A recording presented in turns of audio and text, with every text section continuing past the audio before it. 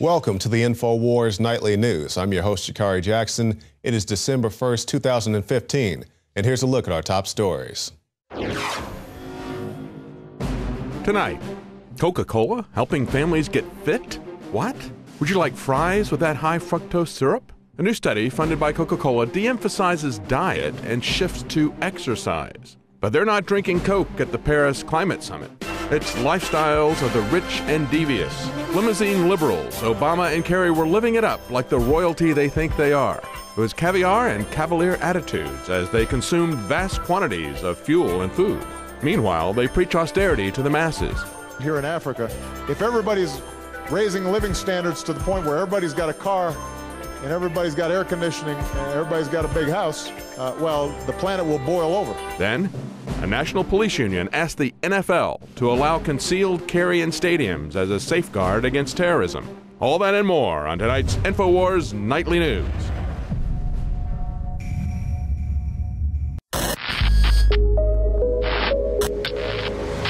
Clean, pure drinking water. You can't survive without it. But where do you get it? Alexa Pure Pro is a brand new groundbreaking gravity-fed water filtration system that is like no other. The Alexa Pure Pro transforms water from virtually any fresh source into clean, healthy drinking water pairing the unprecedented superfiltration power of an all-new gravity block core with a hybrid chromatic shell, it removes up to 99.999% of impurities, including bacteria, viruses, fluoride, disinfectants, volatile organic contaminants, and hormones.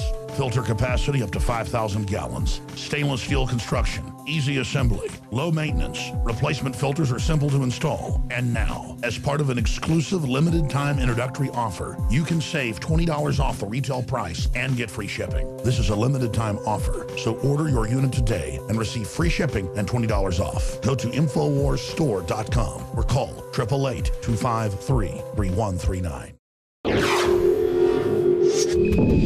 The UN Climate Summit is underway in Paris, France. Now, this is where millionaires and billionaires are going to fly in on their private jets, rent out hotels, and drive around in uh, catered vehicles and cost you, the taxpayer, hundreds of thousands of dollars. One person in particular, the President, Barack Obama. And the Washington Free Beacon has the estimate for Obama's motorcade alone at $784,825. And of course, this includes car service, hotels, and accommodations that are going to cost the American taxpayer nearly 2 million. Excuse me, I said hundreds of thousands. It's 2, $2 million, according to government contracts. The meeting of global leaders, which President Obama has said is a powerful rebuke to terrorists, began on Monday. Now, let's take a pause right there. A pause for the cause because I remember, you know, I'm not a big, you know, Bernie Sanders uh, critic or fan or anything like that. I really don't follow too much of what he does, to be quite honest with you. But when I saw this quote, when he was saying that uh, climate change directly impacted uh, global terrorism, that ISIS is, you know, out there chopping people's heads off supposedly because of climate change. It was one of the most ridiculous things I had ever heard, and now it's being pretty much echoed by the current president of the United States. So it very concerns me that Sanders may be the next president of the United States if he thinks climate change is what's driving people to chop people's heads off. It's uh, pretty redamn ridiculous. Representatives from 195 countries traveled to Paris burning 300,000 tons of carbon dioxide for the United Nations conference that seeks to reduce global emissions. And the tab for uh, Obama's motorcade, as we already said, is nearly $800,000. Secretary of State John Kerry's car service totaled uh, $76,000. And it just goes on from there. They got breakdowns from many different politicians and uh, people in these uh, global leading positions, all telling you that you need to live within your means. Uh, whether you're here in the United States of America or whether you're abroad, you got guys like Al Gore, who has, I believe, a former estimate said he had three homes. One of them was on the ocean. Does that really seem like he's that concerned about rising ocean tides? It doesn't sound like that to me. And as we're talking about Obama, I love playing this clip because I try to tell it to people and they just can't grasp it. So here's a clip of the current president of the United States going to Africa. Well, I've never been, but they make it look really hot on the History Channel. And he tells people in Africa that you should not have air conditioning because the planet is going to boil over. Africa, we're going to all have to work together to find ways in which collectively we reduce carbon, but we make sure that there's some differentiation so that countries that are very wealthy uh, are expected to do more, and countries that are still developing, you know, obviously they shouldn't be resigned to poverty simply because, uh, you know, the West and Europe and, and America got there first. That wouldn't be fair. But everybody's going to have to do something. Everybody's going to have to make some important choices here. And you know, I expect that it's going to be your generation that helps lead this because if we don't, it's going to be your generation uh, that suffers the most. Uh, ultimately, if you think about all the youth that everybody's mentioned here in Africa, if everybody's raising living standards to the point where everybody's got a car and everybody's got air conditioning and everybody's got a big house, uh, well, the planet will boil over.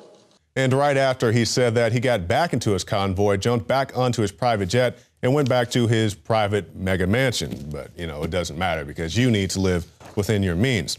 Now, as we're talking about uh, the Syrian situation and a lot of people coming here to the United States and going to other places as well, a lot of people concerned, you know, what are the religious affiliations of people? And personally, I'm not one of those people saying discriminate against people because they're Muslim or because they're from Syria, Pakistan, or Yemen or any of that. But I'm just bringing up the point with this article we have now that no Christians are being admitted into the United States coming from these uh, Syrian areas. And we do know that Syrians are being attacked, excuse me, uh, Christians are being attacked in these areas. You've seen the videos uh, numerous times. They're going to Christian villages, they're burning down churches, uh, they're uh, urinating on crosses of Jesus. You can find all these articles out there, ripping out people's vital organs and all the things to that nature. And this information is according to the data from the State Department Refugees Processing Center. So we know uh, the people that are coming in here have not been Christians. Once again, I'm not saying screen people because of their religions. I think somebody from Syria goes under the same process as somebody from uh, Greenland or you know some other place. You know, you don't discriminate just because they're from a particular area, but you do have the same vetting process for everybody. But of course, they're not letting Christians in for whatever reason. Now, as we're talking about foreign violence with groups like ISIS and Al Qaeda, let's talk about some domestic violence. Now, recently we had the shooting at Planned Parenthood, which I do not endorse at all. They try to say that if you're a right wing guy, which I guess I've been labeled, I'm not a Republican at all, but uh, that's what they try to say that you are. And they say that you're happy that this thing happened. I'm not telling anybody to go out to a Planned Parenthood or any other facility and shoot up the place. But they're trying very hard to say that this guy is, you know, a right wing nut job. You know, he was concerned about baby parts and all this stuff, which I'm concerned about baby parts too, but I'm not going out there and killing people. And now Senator Ted Cruz is saying that the overwhelming majority of violence is committed by Democrats.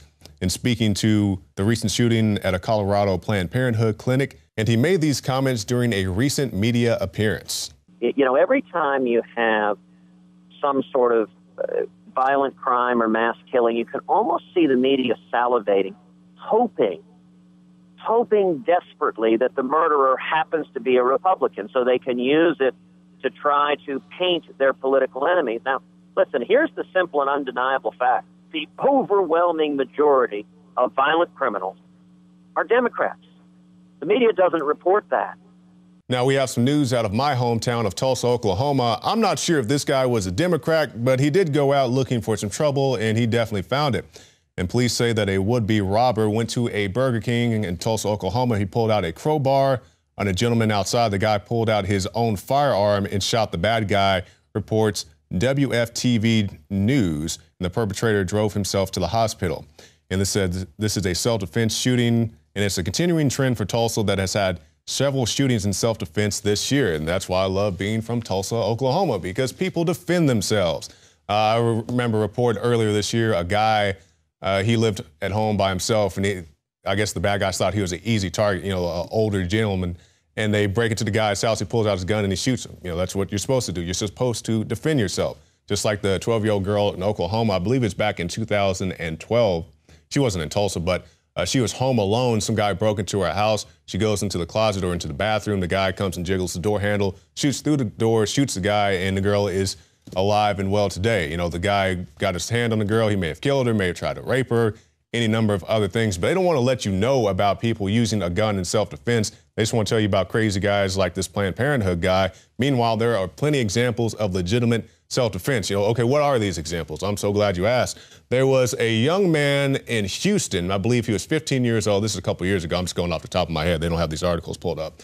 And uh, two guys tried to break into his back door. He had his AR 15, his dad's AR 15. He got the gun, shot the bad guys, and he's alive and well today, as is his sister, who was also home at the time. But like I said, they don't want to tell you about people using guns in self defense. That brings up another thing I've been thinking about recently. Uh, you know, I meet all these people and they say, well, how can you justify gun ownership when you see all these bad things happen with guns? Because I understand that if a person drives drunk, he T-bones a minivan and kills the four occupants inside, that's a local news story. But if a guy uses a gun and shoots four people, that's a national news story. Why, how do you have that disparity? Four people are dead. You have a person who acted either negligent, negligently or with malintent, and you have the same result, but people don't want to talk about it because it's easy to ban something that you don't own or an activity that you don't participate in. If you don't have a gun, you don't have any issue trying to ban guns. But if you hear that example about the uh, family who drive, died from the drunk driver, you'll say, well, that was that individual. That doesn't have to do with anything that I do. I have a glass of wine at the house, have a, uh, a beer while I'm watching the game, and it's a fun time, it's a safe time. There's nothing wrong with that. I do agree there is nothing wrong with that, but by that same token, my guns are locked up in a safe in my apartment. It's me and my dog, and to my dog, it's just a big metal stick that's not fun to chew on. So I'm not anticipating her going out and having any type of uh, mass shooting incident. But uh, I got sidetracked. Let me get back to uh, my articles here. Now, as we're talking about firearms, we're talking about firearms with police, and now Rahm Emanuel, the Don of Chicago, is saying that it's time to get rid of the police chief because of the recent shooting where a young man was shot 16 times. That definitely does seem to be excessive, in my personal opinion. But now Rahm is pretty much uh, fleeing the ship. He's getting rid of the police chief. And honestly, I think Rahm is more concerned about self preservation than anything else because he also knows that people are coming for him. They want his head on the pike just like they want the police chiefs. So he's saying, hey, you can have this guy, just leave me alone. Because, of course, we know Rahm Emanuel, the guy who said, don't let a good crisis go to waste a guy who is very proud of having an unarmed city in Chicago, uh, wants more pe- people to be unarmed in cities like that. I honestly think he's just trying to save himself. But it's not to say all police are bad. There are plenty of good police officers out there, and they want to be armed at all times, just like many citizens do. And now people are saying that, hey, we want to be armed or have the ability to carry concealed carry when we go someplace like a football game. And now police unions are saying to the NFL, please let us carry our firearms in these stadiums not only for our own personal security, but to prevent a tragedy like what may happen uh, in a Paris type situation. They're saying that we want the right to uh, carry in the sports stadiums. Now, other people are saying that we don't want anybody to be carrying because you may have a clash with security, even if you have the best of intentions. If you pull out a firearm, our security personnel may converge on you and an uh, incident may uh, spark up from there. So I think it's worth considering. I definitely don't want TSA style pat downs at the uh, games, but then you can't have the ability to defend yourself. We're going to end with this before we go on to a special report from the ISIS hunter Joe Biggs himself, talking about obes- obesity and its ties to Coca Cola. Basically, you guys remember earlier this year they had a study come out say Coke is good for you, it's great, it's all these other things, and you find out that Coca Cola actually funded the group that you know said it's not making you fat when you drink Coke all day long. it's completely ridiculous. Now let's go into a special report from Joe Biggs before we come back after this break with other special reports from the InfoWars crew. Joe Biggs here with Infowars.com. Now, we are on our first leg of a North American tour exposing the caliphate that has happened here in America. Now, we have a number of locations throughout the country that breeds radical Islam, that encourages it, that will even pay for people to go over to CEAS to train, to become radicalized, and then fight troops overseas to come back to America and carry out attacks. Now, one of the largest stories in the country right now is whether or not we, as, an, as a country, as America, should allow Syrian refugees in mass numbers to be brought over in hopes that they'll assimilate, that they'll become American through and through. Now, our government has openly come out and said that they have supported Al Qaeda, that they have given them arms, that they have trained them. And now we have a president who is openly supporting ISIS. He won't even call them what they are, which is radical.